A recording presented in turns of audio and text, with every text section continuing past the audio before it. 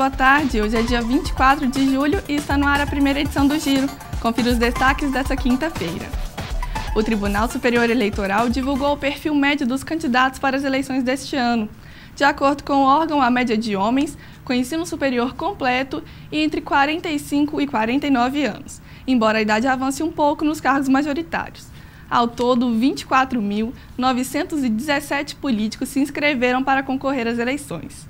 O cargo com maior número de candidatos é o de deputado estadual, com mais de 65% dos postulantes. E o Tribunal Regional Eleitoral lançou a campanha Sujeira Não É Legal. Stephanie Martins traz mais informações. A terceira edição da campanha Sujeira Não é Legal já está nas ruas. A ideia do projeto é orientar candidatos e eleitores para uma campanha eleitoral limpa e segura. Ao meu lado está o coordenador de comunicação do TRE de Minas Gerais, Rogério Tavares. Rogério, quais são as principais orientações dessa campanha? É, nós queremos orientar candidatos e aqueles que participam da campanha, ou mesmo aqueles que é, acompanham o processo eleitoral, para que tenha uma postura de, de bom senso na eleição.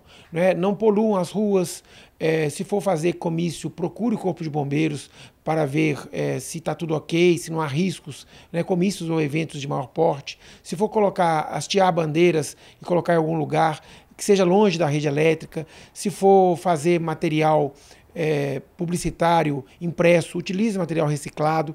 Então, nós estamos sugerindo várias condutas é, para que haja uma campanha melhor, de mais alto nível em Minas Gerais. Obrigado, senhor Rogério, pelas informações. Stephanie Martins, para o Giro.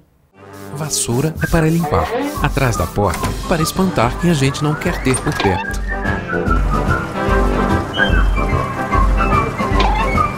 As eleições estão chegando. Na hora de votar, escolha candidatos que respeitam você e que não sujam a cidade. Para os sujões não ficarem por perto, vassoura atrás da porta. Apoie essa ideia. Sujeira não é legal.